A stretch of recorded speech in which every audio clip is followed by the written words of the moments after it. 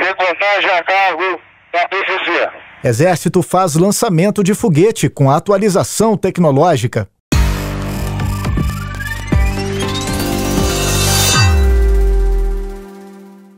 O teste foi realizado no Forte Santa Bárbara, em Formosa, no estado de Goiás. O exercício marcou a entrega de um lote de foguetes SS-60, que foram aprimorados recentemente pela Avibras Indústria Aeroespacial.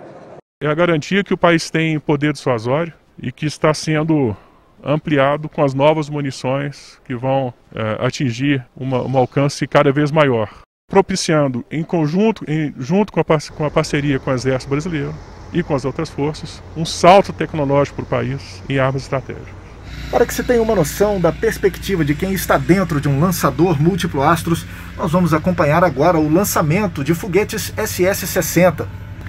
Cada um desses tiros tem capacidade de atingir alvos posicionados a mais de 60 quilômetros de distância.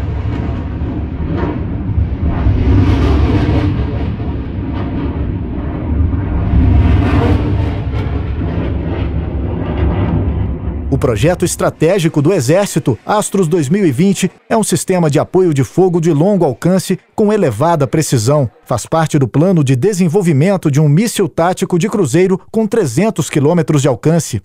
É sensacional ver quanto evoluiu o programa Astros 2020. A importância que a Avibraz tem no contexto deste programa.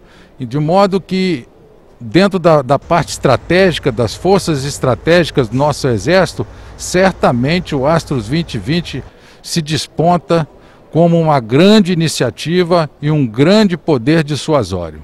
Essa tecnologia nacional de defesa fortalece ainda mais a artilharia do Exército como maior poder de fogo abaixo da linha do Equador.